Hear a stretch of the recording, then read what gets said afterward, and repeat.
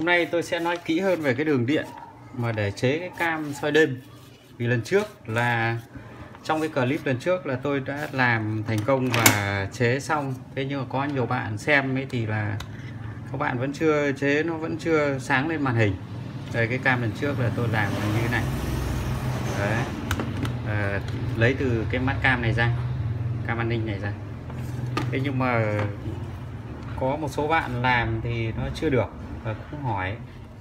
Thì giờ tôi giải thích thêm vì tôi đã mổ xẻ ra rồi. Nhá bây giờ vẽ ở trên uh, giấy thì nó như thế này. Tức là cái màn hình cái màn hình của nó đây. Thì nó có ba cái dây. Nó có ba cái dây. Dây đỏ này là cấp nguồn này. Dây hai dây này là AV này. Trắng mấy vàng này là đường tín hiệu hình vào nhá. Cam cắm vào đường AV thế thì đấy AV trắng và AV vàng. Thế trong cái rắc AV ấy thì đầu tiên nói đến cái rắc rắc nguồn điện này. Đấy rắc nguồn điện này. Thì bao giờ là cái giữa này cái trục ở giữa ấy là nó là điện dương. Đấy cái trục ở giữa là điện dương. Rồi, giữa này là dương thế còn rìa này là âm này. Thế còn AV thì giữa là tín hiệu sườn là cũng là âm. Và âm với âm thì là chung nhau. Tức là âm bên này với âm bên này. Âm bên đường nguồn và âm bên tín hiệu. Đấy, tất cả các vỏ ngoài là thông mạch với nhau. Đây nhá. Tôi sẽ đo này. Đây đồng hồ đo này. Đây là trở về ôm nhá. Khi thông mạch thì đồng hồ nó hiện như này. Đó, hiện số này. Nhé đây bên ngoài này. Vỏ ngoài này, như vỏ ngoài này, hai cái AV này. Đấy các bạn nhìn nhìn đồng hồ này. Đấy, hai cái AV này. Cái cái AV này tức là bên bên ngoài này. Và bên ngoài của cái ngoài của cái nguồn điện nhá. Đấy, đồng hồ thông mạch này. Đấy nó chỉ khác ở giữa. Đây giữa là tín hiệu và giữa đây là điện. Điện dương. Thì không thông mạch. Đấy các bạn nhìn nhé. Nhìn đồng hồ này, không về đấy vậy thì sẽ đấu như thế nào? Để cho nó đúng. Cái cam của nó thì là đây. Đấy một đường này là cấp điện này đường này, là đường tín hiệu này. Và cũng theo quy chuẩn ở bên này là vành ngoài của nó sẽ là âm, là giống nhau. Nhưng khác ở giữa là bên này là điện, ở giữa này là tín hiệu. Và quy định thì điện dương sẽ là dây màu đỏ. Điện âm thì có thể màu đen, có thể màu trắng và đường tín hiệu thì bao giờ cũng là màu vàng, dây màu vàng. Ừ. đây nha tôi tháo cái này ra nhé các bạn xem.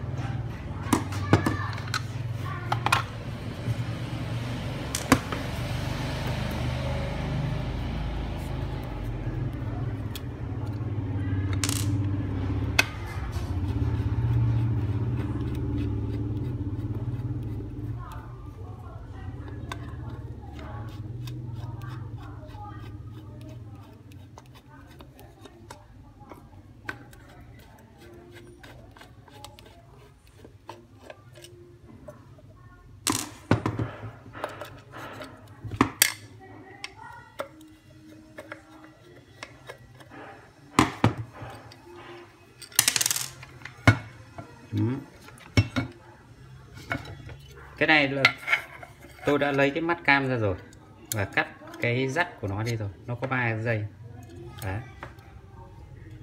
khi cắm vào mắt cam là nó có ba dây này. Dây đen dây vàng và dây đỏ. Dây đỏ là điện dây vàng là dây tín hiệu và dây đen là dây điện âm là dây chung. Và đây là một cái rắc đỏ đen. Đỏ đen này là cắm vào đèn hồng ngoại, các bạn nhé đấy. Cắm vào hồng ngoại thế thì khi ta cấp nguồn, đây đây là nguồn nguồn điện. Đây là cục cục nguồn nhé. Thì ta cắm, nó sẽ có một cục nguồn. Thì ta cắm vào cam. Bình thường cắm vào cam này thì là chỉ, nó sẽ, điện nó sẽ ra đây. Và nó cấp cho đèn hồng ngoại.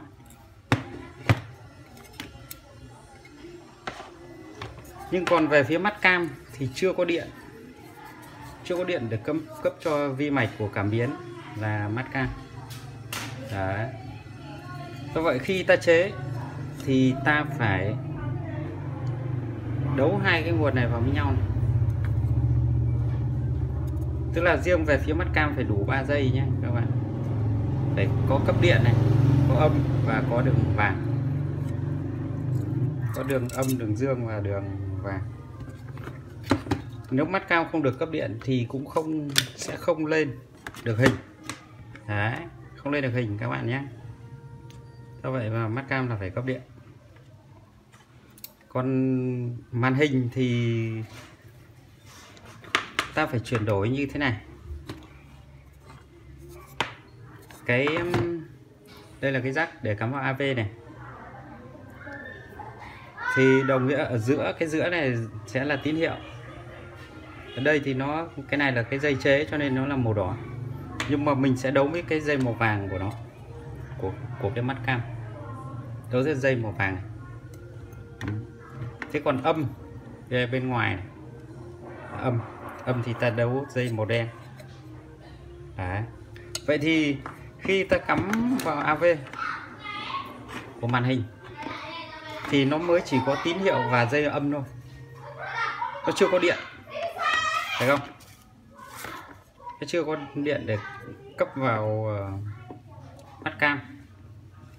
Thì cái phần cấp điện này là ở cái mắt cam ấy là nó có ba cái dây này mà. Thì ta phải đấu cái đường ờ, đường điện trích xuất từ cái này vào sang.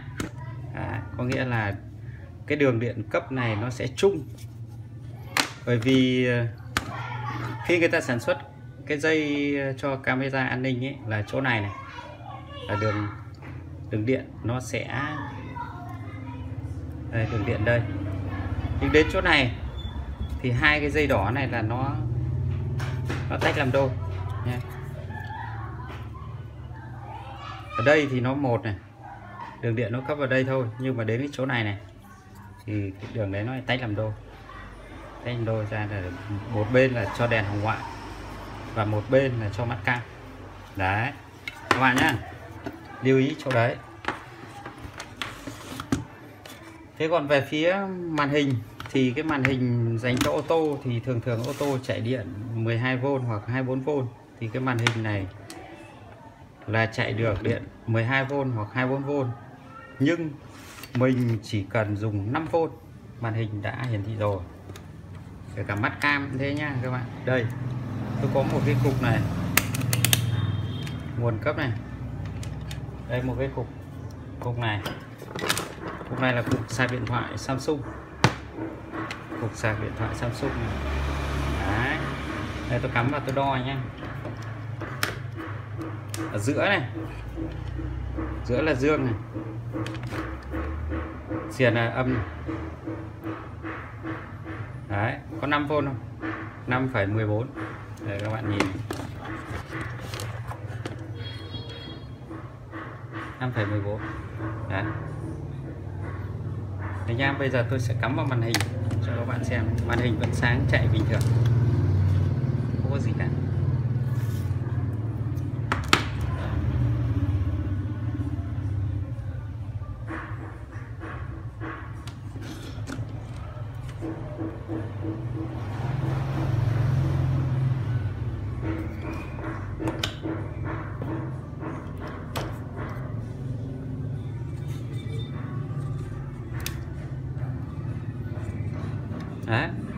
Màn hình này các bạn nhé. Màn hình này là nó không sáng liên tục như màn hình tivi đâu. Mà nó chỉ lóe lên cái xong nó thôi thôi.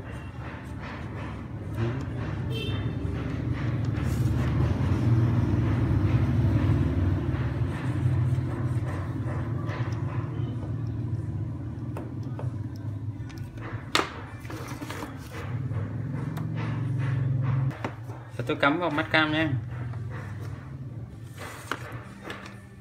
Cam thì đây cái này điện sạc. Đây nha đây là điện 5V tôi sẽ lấy điện từ cái cục sạc này để chạy cho hai thứ chạy cho cả màn hình và chạy cho cả đây nhé cả màn hình cả cam.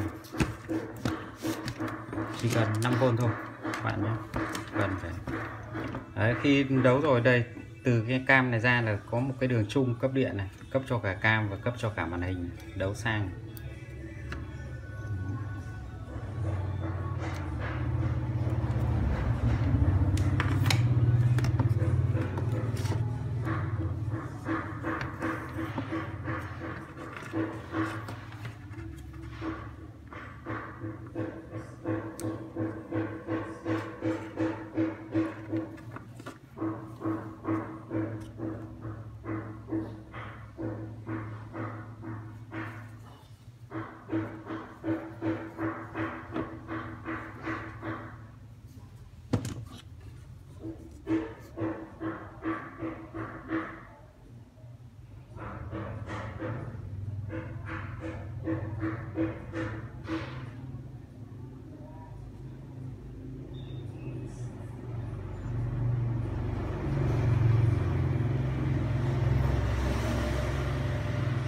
Đấy, chỉ cần cái 5V này thôi.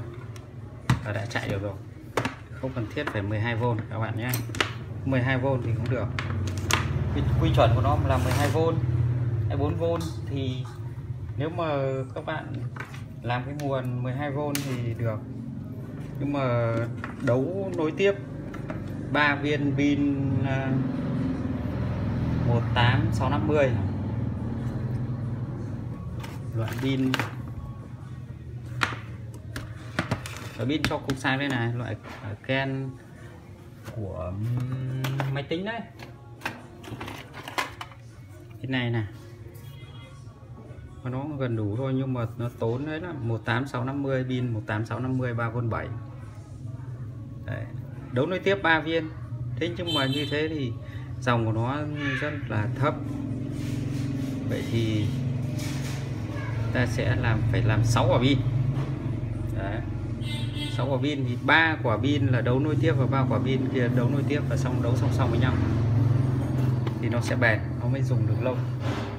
Đấy, các bạn ạ.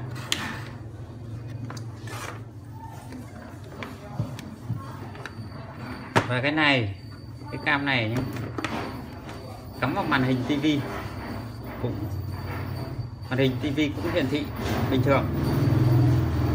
Bây giờ tôi thử cắm vào màn hình tivi nhé để các bạn xem nhé. Thì cái này thì nó cũng như màn hình tivi thôi. Cái chức năng hiển thị hình ảnh.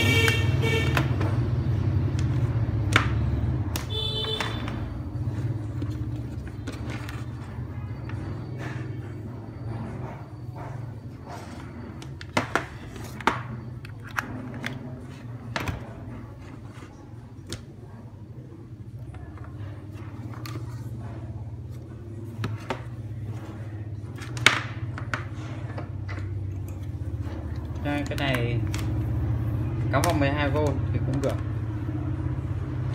Còn 12V thì chạy cũng bình thường. Đây là cái nguồn 12V nhé đây đo này. À, 12V này. Rồi. Để tôi cắm vào màn hình này. Đây nhé cắm vào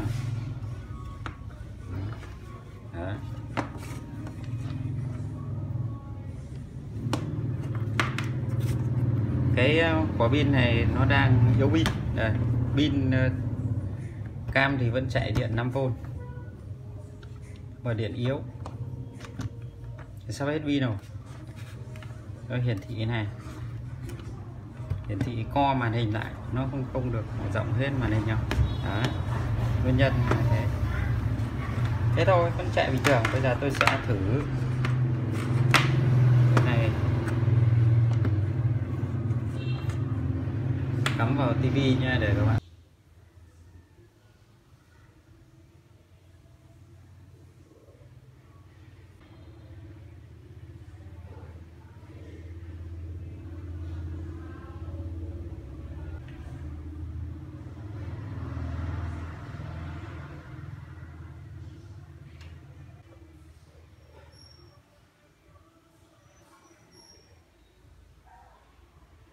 Bình thường thế nhưng mà cái màn hình tivi nó to cho nên là nó không là cam an ninh. Bây giờ an ninh. Mà chiếu lên màn hình tivi nó không có được nét thì nó to, pin. 5V thôi, pin dự phòng nó